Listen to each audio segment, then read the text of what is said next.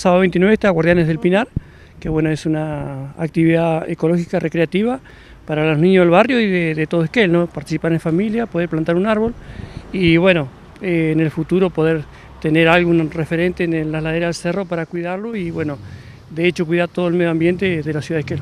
Eh, se hace mucho hincapié en las charlas recreativas para ver y crecer el árbol, eh, de qué formas tiene continuidad en el tiempo, la contención que hace la ladera del cerro para que no se venga al barrio.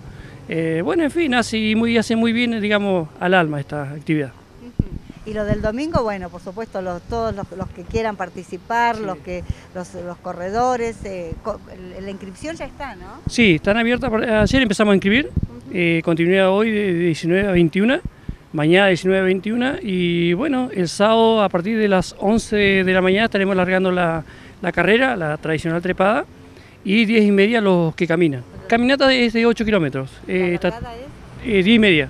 Está todo señalizado para todos los participantes puesto de agua y bueno, la atención siempre que brinda el Grupo Seferino. Bien, eh, Miguel, porque esta carrera, bueno, se había suspendido, había pasado para octubre, pero para reiterar y para que la gente lo tenga en cuenta, domingo 30. Sí, domingo 30, sí, la habíamos suspendido por el mal tiempo, pero bueno, ahora vemos que, está mejor, así que bueno, eh, seguramente no vamos a tener ningún inconveniente de, esa, índole. Y bueno, estamos todos preparados para recibirlo en el barrio Seferino.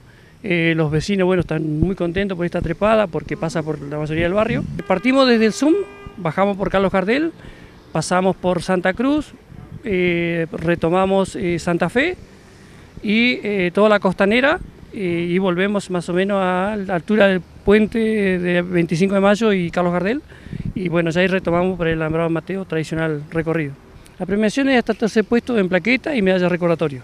son 8 kilómetros y bueno, tiene el mismo recorrido salvo que no hacen la parte del barrio, solamente van al cerro cuentan con un seguro, pero bueno, ellos tienen que saber, los atletas y los que caminan, que están en condiciones de hacer este recorrido y, bueno, es, es para beneficio de todos y no para perjudicar a nadie.